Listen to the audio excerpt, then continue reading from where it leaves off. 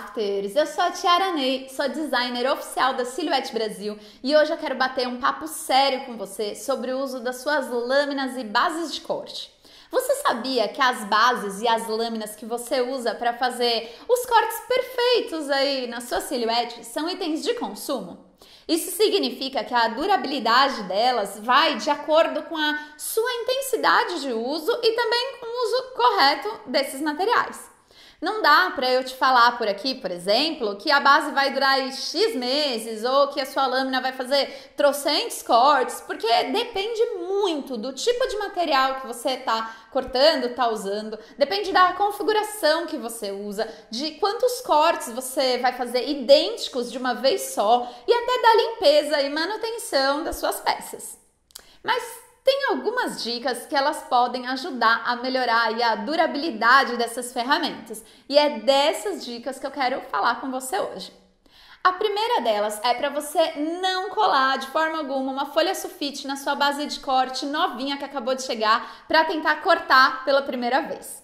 Eu sei que muitas vezes esse é o único papel que a gente tem em casa, mas sério, resista a essa tentação. Acontece que a base de corte ela vem com bastante cola. E se você colar uma folha fininha nela, a folha vai grudar verdadeiramente e vai ser difícil de tirar. Então procure usar um papel mais grosso, de preferência de 240 gramas ou mais, para fazer aí os seus primeiros testes. A segunda dica é que depois que você fizer o corte, não tira a folha da base puxando a folha para cima. O ideal é você virar tudo ao contrário na mesa e tirar a base do papel. Assim você evita que o seu projeto fique todo envergado e até minimiza as chances de rasgar a sua folha, rasgar o seu projeto já cortado. Aí, quando a sua base já estiver mais gasta, quando o poder de colagem dela já tiver diminuído, tá tudo bem você usar papéis mais finos, como o papel de 180 gramas ou até mesmo um papel vegetal. Uma outra opção, caso você realmente use essas folhas mais finas aí com frequência, elas fazem parte do seu trabalho, é você adquirir a base de leve fixação. Ela vem com menos cola, ela tem menos aderência e é ideal para papéis mais delicados. Outra dica é que você mantenha a sua base sempre, sempre, sempre limpa. E com a ajuda de uma espátula, você retire sempre todos os restinhos de papel que vão ficando depois dos cortes. Mesmo aqueles minúsculos, sabe? Os menorzinhos. Quando terminar o trabalho do dia, lembra também de colocar o liner, aquela folha verde que vem com a sua base, que protege a sua base, coloca por cima e coloca ela dentro do saquinho e guarda esticada. De preferência dentro de uma gaveta bem grande que não faça ela dobrar nem amassar. Agora, falando sobre as lâminas, a Silhouette tem aí uma variedade enorme de lâminas para você fazer os mais diversos tipos de trabalho. Os modelos mais novos de máquina, eles vêm com uma lâmina de ajuste automático, mas também existem lâminas que são ajustadas aí manualmente. A lâmina Roquette, por exemplo, tanto a preta quanto a azul, elas são ajustadas aqui na frente da sua máquina, nesse suporte. Você coloca essa parte com um risquinho vermelho para frente, encaixa ela aqui e gira até chegar no número de exposição que você quer. Para aumentar a exposição, você gira do 0 até o 10. Para diminuir, você gira do 10 sentido ao zero. Só toma cuidado para não forçar demais, nem antes do zero e nem depois do 10, para não correr o risco de quebrar a sua lâmina. Já as lâminas premium e as lâminas de corte profundo, elas também têm ajuste manual, mas essas você não precisa encaixar na máquina para mudar. Você ajusta elas simplesmente girando elas aqui na sua mão mesmo.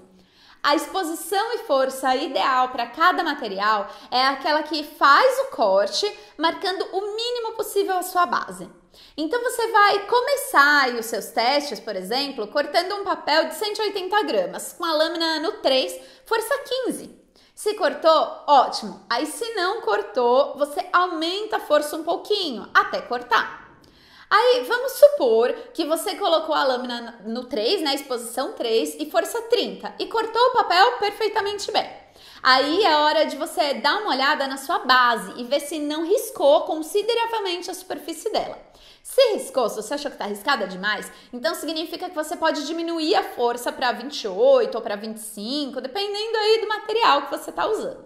Quando você encontrar aí uma combinação de exposição mais força que corte o seu papel e não risque muito a base, aí pronto, salva essa configuração e usa sempre para esse mesmo tipo de papel. Mas aí, conforme você vai usando a sua lâmina e ela vai ficando mais gasta, pode ser que você tenha aí que aumentar a força desse corte ou até mesmo aumentar a exposição da lâmina para garantir que os cortes precisos continuem sendo feitos. Só lembra que quando você for usar uma lâmina nova de novo, o ideal é você fazer os testes mais uma vez, em vez de usar a mesma configuração que você estava usando para uma lâmina aí que já estava mais gasta, certo? Outra informação importante é para você sempre, sempre, sempre manter a sua lâmina limpa também. Alguns tipos de papel, eles soltam mais pó do que outros. Alguns materiais, eles deixam mesmo, soltam mais resíduo dentro da capinha da lâmina, é normal. E isso pode comprometer a qualidade do seu corte. Para limpar a lâmina, você tem que colocar ela na posição zero, seja qual modelo for, e então usar essa pecinha aqui que acompanha a sua máquina para abrir essa tampinha aqui de cima. Mas ó, toma cuidado, porque é para abrir só a tampinha de cima mesmo e não desmontar a sua lâmina, certo? Você tira a tampinha, passa um pincel aqui para tirar toda a sujeira e coloca a tampinha de volta, até tá totalmente rosqueada. E por fim, a minha última dica é que você sempre tenha, pelo menos aí no mínimo mesmo, uma lâmina e uma base de corte extras para você usar em caso de emergência. Pode acontecer de uma configuração errada de corte danificar a sua base. Pode acontecer também da lâmina cair no chão e quebrar, ou de você testar um material muito fibroso e acabar aí com o corte da sua lâmina. Então, para garantir que você não vai ter problemas para terminar suas encomendas, os seus projetos, ou terminar de fazer aquele, aquele corte que você quer muito, o melhor caminho é você sempre ter os itens de consumo guardados para uma eventual reposição. Agora que você já sabe tudo sobre bases e lâminas da Silhouette, bora começar a trabalhar? Você também encontra mais conteúdos como esse que te ajudam a dar aí os primeiros passos com a sua silhuete no blog da Sil Brasil em blog.silhuetebrasil.com.br. E se tiver alguma dúvida sobre esse conteúdo, é só você escrever aqui embaixo que eu ou a Sil a gente vai vir aqui rapidinho para te responder. Eu te convido também a conhecer o meu canal que está recheado de conteúdos para quem quer começar um negócio no mercado craft em youtube.com/barra Um beijo, tchau!